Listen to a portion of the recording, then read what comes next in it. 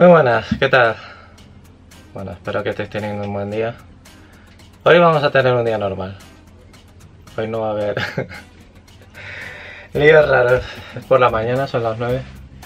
Hemos quedado para navegar con un colega nuevo que nos hemos echado, se llama Carlos, tiene un, un Bavaria 40.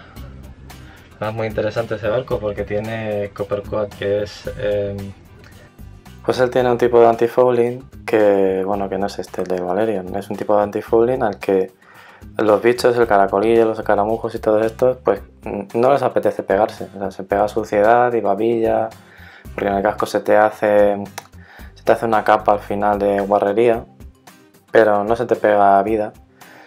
No sé cómo le sienta el casco, la verdad, y no sé cómo de caro es, pero bueno, para Carlos al final es cojo el barco, lo saco con la grúa, le meto en un carcheo y lo vuelvo a llevar al agua sin más, sin esperar, sin días de varadeo, sin estadías ni nada. Así que bueno, la idea en un principio era ir a Tabarca o a La Grosa, donde tocase, y si sonaba la flauta, bueno, en realidad era que nosotros nos quedáramos a hacer noche y Carlos se volviera. Así que me puse a llenar el depósito lo que pudiéramos porque el depósito estaba mal, pero esto es otra aventura que ya contaré más adelante. Porque esto va a ser un vídeo normal, normal, normal. Así que nada, llenamos y a salir. ¿Cómo? No. Te estoy grabando que Carlos está empeñado en que me pasa la vida contando penas, así que bueno, por eso va a ser un día normal, Carlos. Esto es un vídeo normal. y eso que estáis viendo ahí es un Bavaria 40 del 2001 o 2000, no recuerdo bien. Y la verdad es que es un super barco, que no se engañe la proporción patrón barco, porque es que Carlos es un tío muy grande, muy grande, muy grande. Y es un super barco, de verdad. Yo creo que incluso en este tipo de barcos se cumple la historia esta de que cuanto más viejo mejor, porque se nota la robustez, es otro tipo de proas, es otro tipo de material, es que se nota, se nota la legua. Y luego están todos los cachivaches que lleva por dentro, con sus tiradores antiguos, la verdad que es un barco muy marinero. Yo no sé Bavaria cómo ha ido cambiando, cómo ha ido evolucionando a hacer barcos más, más en serio, más, joder, en plan cadena de montaje, porque yo creo que los barcos de antes le quedaban mejor. A todos en general le quedaban mejor. Así que nada, pues eh, decidimos ir a Tabarca y para eso pues hicimos un bordito saliendo de Torrevieja. Pero ¿qué pasa cuando intentas ir a Tabarca desde Torrevieja sin entrar mal adentro? Sobre todo un día con levante, porque bueno, aunque es un viento muy predominante aquí, pues muchas veces no le haces caso. La previsión la verdad es que nos decía que no, pero al final pasa lo que pasa, la previsión hay que tener cuidado con ella. Y entonces si no entras mal adentro, pues al final cuando pones rumbo a Tabarca, como es lo que estamos intentando los dos barcos ahora, pasa que ir a Tabarca te obligaría a atravesar Torrevieja por tierra Y eso no se puede hacer, obviamente. Entonces al final, ¿qué pasa? Pues que Carlos ese día nos hizo mucho caso, me hizo caso, decía que iba a lo que nosotros quisiéramos y al hacer esto, pues cogió, se puso de proa y le salió la maniobra de hombre a la guavela. ¿Lo estáis viendo? El Génova le está desventando, o sea, el Génova le está frenando, aunque la mayor trata de ir para adelante, es una mayor nueva, así que está trabajando súper bien aún así, y la dejó clavado. Y esto le pasa a Carlos por hacerse caso de uno que tampoco se preocupa mucho del rumbo. Total, que al final nos fuimos rumbo a, la grosa, que era lo fácil. Y ahí nos tenéis. Bueno, hay que decir que la corredera estaba recién lavada y claro, luego vienen los engaños. La corredera diciéndote que va más rápido de lo que en realidad vas. El GPS diciéndote que no te hagas tantas ilusiones, que tu barco no es un misil pero fuimos muy bien, muy a gusto, con 13 nudos ahí ceñida casi otra vez. Y llegamos a la grosa. Entonces, pregunta típica que me hacen, y cuando llegas a un sitio de estos, ¿qué haces? ¿Echas el ancla? Y la respuesta es no. Aquí en la grosa está prohibido fondearse con el ancla y hay una serie de huellas de fondeo, creo que solo hay 8. Antes había más, pero bueno, han ido, han ido desapareciendo con el tiempo. Y entonces lo que uno tiene que hacer cuando llega a estos sitios es engancharse a una boya de fondeo y hacerlo de tal manera pues que el barco se quede a gusto y bien mientras está fondeado. Ese día lo que pasaba es que el viento que teníamos y el mar se nos atravesaban un poco, la grosa no nos estaba dando resguardo en realidad. Entonces estábamos dando un poco de botes. Pero bueno, oye, que la idea era llegar allí y lo hicimos. Entonces la táctica para hacer esto a gusto es que tú vas a motor, obviamente, te acercas a la boya de proa y entonces de alguna manera pasas una marra un cabo a través de los llaves de la boya. Mira, vamos a verlo. Lo normal es pasarse un poco y subir la boya un poquito en el barco. O sea, agarrarlo con el bichero, subir la boya, enganchas el cabo como te dé la gana y así, y ya está. Y entonces lo dejas irse otra vez. Y esto es una... Esto que hicimos es amarrar por seno a un hollado.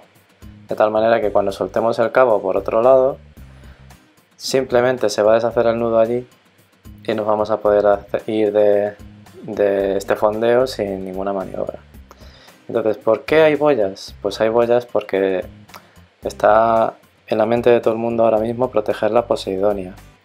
La Poseidonia es este alga que nos encontramos en la playa un día de mucho viento, o al día siguiente, está la playa llena.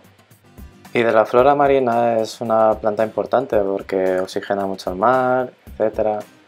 También hace que la ola no llegue tan fuerte a las playas y eso es súper importante, sobre todo para los veleros. Pero se piensa erróneamente que la Posidonia se rompe por culpa de los barcos que, que echan el ancla sobre ella y la arrancan. Y la realidad es que no, que como muchas cosas, la acción del hombre está dañando el ecosistema y la Posidonia se ve inundada en los días de mucho mar y viento por la arena de las playas. Y en el momento que la Posidonia no tiene más del 80% fuera de, fuera de tierra, se muere. Esperad, que es que este es antes de seguir con lo de la Posidonia, este es el típico pasatiempo habitual cuando estás en un fondeo en un sitio tan, con el agua tan clara. Echar patatas fritas y ver cómo los peces se las comen. Pero bueno, vamos a seguir con el tema de la Posidonia. Está todo el mundo pensando que es todo fruto de pues, sí, tiene que ver el cambio climático, tiene que ver la acidificación de los mares, todo eso tiene que ver, pero las playas que más renovación tienen a base de echar arena artificial son las que más dañan la flora de los fondos marinos, son las que más. Entonces, bueno, hay una batalla ahora, a mí, bueno, me parece bien siempre que se den alternativas, como las boyas de fondo de Orosa, pero la realidad es que el fondeo de recreo no hace daño a la Poseidonia. Y bueno, yo aquí no he echado el ancla nunca, siempre he tratado de fondearme en boya. Pero donde sí me he fondeado con ancla y está permitido es en Tabarca y allí cuando cae el ancla en Poseidonia, al irte y si haces la maniobra bien, lo normal es que no te lleves nada. Luego hay barcos pues, que salen arrancando porque lo hacen mal salen tirando para adelante, no saben fondear y esto es una de las cosas que te enseñan cuando te sacas el carnet, pero bueno, como hay gente que no, que no va ni siquiera a las prácticas, eso habría que revisarlo, pues pasa lo que pasa. Y es que cuando el ancla cae, muchas veces, y si cae sobre una playa de Posidonia, puede que caiga patas arriba y ni siquiera está haciendo nada, porque lo que de verdad sujeta al barco es el peso de la cadena. El ancla está ahí, sí, y asegura en un momento de tensión fuerte, pero es el peso de la cadena y por eso tenemos que echar mucha cadena y al final el peso de la cadena sobre la Poseidonia no hace tanto daño, es la realidad. En fin, que al final pues decidimos que no nos quedábamos porque había un poco de mar de fondo y decidimos acompañar a Carlos de vuelta a Torrevieja. Y nada, ya estábamos empezando a volver, Carlos nos estaba grabando, no sé dónde está ese vídeo, pero nos estaba grabando. Lo, lo tengo por ahí perdido. Y, nada, rumbo de vuelta a Torrevieja. Eh, un día tranquilo, sin incidentes por ninguno de los dos barcos, porque ya sabéis lo que se dice, que, siempre que sales a navegar te pasa algo. Y la verdad es que teníamos un rumbo de ceñida súper bueno para volver a Torrevieja sin ningún tipo de problema. Y ya está. Y esto es un día normal. Un día normal en el que sales, te das una navegada, si tienes suerte te acompaña algún cofrade, o quedas con alguien para navegar. Y si no, pues no, disfrutar de, que el viento te lleve. Porque es que no hay nada de verdad como notar el empujón de las velas, o sea, cuando las velas se inflan y el barco sale a navegar sin motor, eso de verdad, notar que el planeta te está llevando, que las corrientes de aire, que todo eso que funciona automáticamente desde hace milenios te está ayudando a ir a donde tú quieres, eso es para pensarlo bien, ¿eh? Es para pensarlo bien. Yo lo dejo ahí, chavales. Lo dejo ahí. En fin, con esto ya me despido. Eh, los siguientes vídeos no van a ser tan normales porque tengo muchas batallitas que contar. Sobre todo una que me ha pasado ahora mismo en el puerto de, de Torrevieja con las obras, que de la marinera como se me ha quedado el barco. Nos vemos. Chao.